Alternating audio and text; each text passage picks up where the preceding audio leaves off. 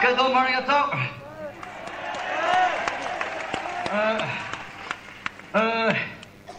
う。もういろいろ雑誌や、えーいろんな噂で知ってる人も多いと思うけど、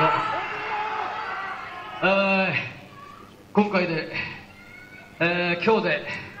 実は3年、3年近くやってきたギターの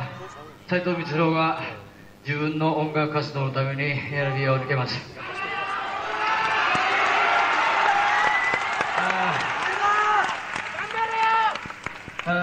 これから先も斉藤光郎、えーまた大阪来たらね俺ら以上に斉藤光郎応援してやってください。お願いします OK、えー、光郎から一言みんなにあります。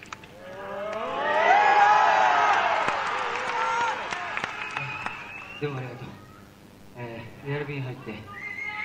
ー、約3年なんだけど、えー、自分としては、えー、精一杯やってきたつもりです。えー、本当に長い間応援してくれてありがとう。えー